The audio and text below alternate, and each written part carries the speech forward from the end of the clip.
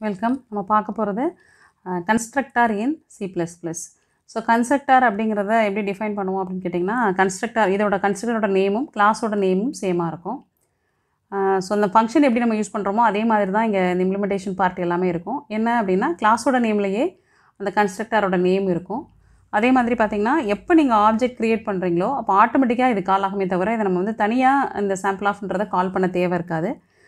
முக்கியமான விஷயம் என்னென்னா இதனுடைய ரிட்டன் டைப் இருக்காது. கன்ஸ்ட்ரக்டாருக்கு வந்து ரிட்டன் டைப் கிடையாது. ஸோ அப்போ இது எப்படி எக்ஸிக்யூட் ஆகும் அப்படின்னா மெயின் ஃபங்க்ஷன் உள்ளே வந்தோடனே சாம்பிள் எஸ்ன்னு பார்க்கும். பார்த்தோன்னே ஆக்சுவலாக ஆட்டோமேட்டிக்காக இங்கே கன்ஸ்ட்ரக்டர் இந்த சாம்பிள் நேமில் கன்ஸ்ட்ரக்டர் இருக்கிறனால ஆட்டோமேட்டிக்காக இது கால் ஆயிரும். நம்ம கால் பண்ண தேவையில்லை. ஓகே இது வந்து ஆர்குமெண்டட் கன்ஸ்ட்ரக்டர் இது எப்படின்னு பார்ப்போம். இப்போ ஹெட்ரு ஃபைல் இன்க்ளூட் பண்ணியிருக்கோம். கிளாஸோட நேம் சாம்பிள் கொடுத்துருக்கோம்.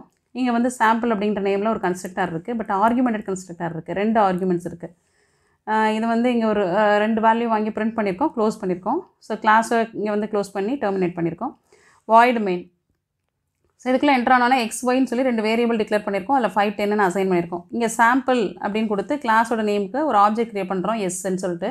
ஸோ அதில் என்ன பண்ணுறோம் அதோட ஆர்குமெண்ட்ஸாகவே இந்த எக்ஸ் ஒய்யை நம்ம பாஸ் பண்ணுறோம் ஸோ இப்போ இந்த எக்ஸ் ஒய் அப்படிங்கிறது என்ன இருக்கும் அப்படின்னு கேட்டிங்கன்னா இங்கே போகும்போது எக்ஸ் ஒய் எடுத்துகிட்டு போகாது. இங்கே வந்து எக்ஸுக்கு பதிலாக ஃபைவும் ஒய்க்கு பதிலாக டென்னு எடுத்துகிட்டு போகும் ஸோ எடுத்துகிட்டு இந்த ஆர்குமெண்டட் கன்ஸ்ட்ரக்டார் கால் ஆயிரும். கால் ஆகிட்டு அது ஏபியில் என்ன வேல்யூ இருக்கும் அப்படின்னு கேட்டிங்கன்னா ஃபைவ் டென் இருக்கும். ஸோ அந்த ஃபைவும் டென்னும் நம்ம இங்கே வாங்கிட்டு இங்கே பிரிண்ட் பண்ணியிருக்கோம். இவ்வளோதான்